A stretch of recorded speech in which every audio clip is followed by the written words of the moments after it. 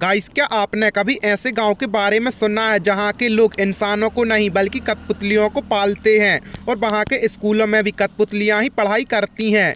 Guys, ये बात सुनकर आपको थोड़ी अजीब लगी होगी गाइस, लेकिन ऐसा होता है। गाइस, जापान तकनीक के मामले में सबसे आगे है गाइस, संसाधनों के लिहाज में काफ़ी प्रगति कर चुके जापान में सब कुछ अच्छा है, लेकिन इस देश के गाँव वीरान हो चुके हैं गाइस। जापान में बुज़ुर्गों की संख्या ज़्यादा होने की वजह से गाँव में रहने वाले कोई भी नहीं बचा। गाइस ऐसे में इस देश का एक गाँव ऐसा है जहाँ इंसान कम और पुतले ज़्यादा दिखाई देते हैं। गाइस, इस गाँव का नाम नगोरा गाँव है। गाइस, इस गाँव के पिछले 18 सालों से कोई भी बच्चा नहीं जन्मा। गाइस, बजाय है यहाँ युवाओं की जनसंख्या की करीब करीब खत्म हो जाना। गाइस, जो गाँव एक वक्त 300 लोग से आबाद था, वहाँ आज सिर्फ़ पुतले ही पुतले दिखाई देते हैं। गाइस, ये पुतले यहाँ रहने वाले की तनहाई को दूर करने के लिए बनाए गए हैं।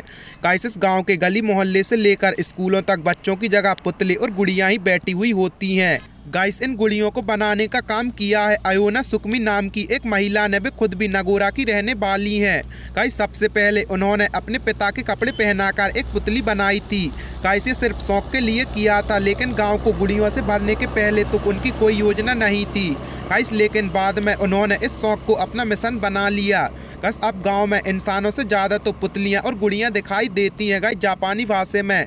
इसे आदमकद गुड़िया को बजूका कहते हैं, गाइस, और नगोरा में अब बजूका बजूका का ही राज चलता है। गाइस जब ये गाँव आबाद था, तब यहाँ स्कूल भी था। जब बच्चे नहीं रहे तो स्कूल भी बंद हो गया। गाइस हालाँकि लोगों को ये कमी ना खले, इसके लिए यहाँ भी बच्चों की जगह पुतलियाँ और गुड़ियाँ बैठाई गई हैं और टीचर की जगह भी बजूका मौजूद है, जो उन्हें पढ़ाते हुए दिखाई देता है। गाइस अयोना, सुकमी ने नकली अखबार और कपड़े का इस्तेमाल करके बजूका बनाए है और इन्हें इंसानों की तरह कपड़े पहनाकर प्रॉपर ह्यूमन टच ऑफ़ दिया है।